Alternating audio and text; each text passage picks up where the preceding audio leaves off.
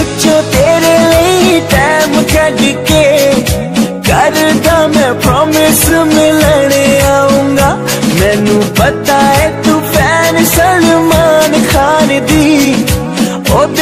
ਦਿਨ ਵਿੱਚੋਂ ਤੇਰੇ ਲਈ ਟਾਈਮ ਕੱਢ